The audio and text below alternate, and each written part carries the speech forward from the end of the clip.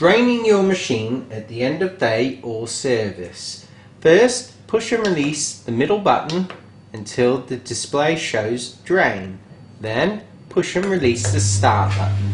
The machine will now perform a drain stroke self-clean cycle.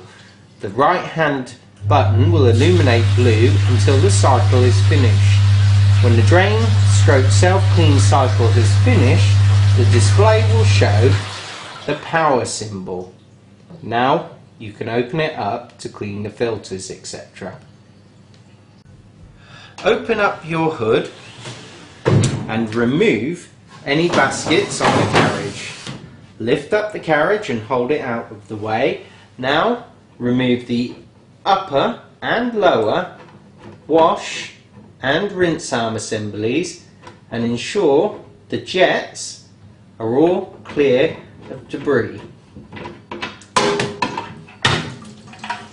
Next, remove the scrap trays, being careful not to drop the dirt back in the machine. Take these to your bin and scrape off the scraps, then over to your pre-wash station to remove any further debris, ensuring you wash the, the scrap tray on the top and on the bottom. Now, remove the wash pump filter, pulling it towards the corner of the machine and make sure you clean it on the outside and the inside.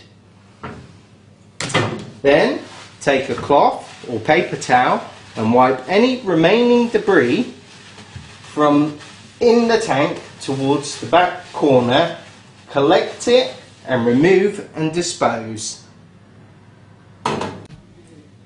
After draining the machine and cleaning the filters, you will need to replace them back in the machine. Lift up the carriage and replace the wash pump filter, now clean, ensuring it's firmly clipped into position. Next, replace the scrap trays, ensuring they're correctly located. Now, replace the upper and lower wash arm assemblies and upper and lower rinse arm assemblies, ensuring they're correctly fitted and screwed down all the way. Now bring your basket back across onto the carriage. Always leave the hood open overnight to allow the machine to air dry.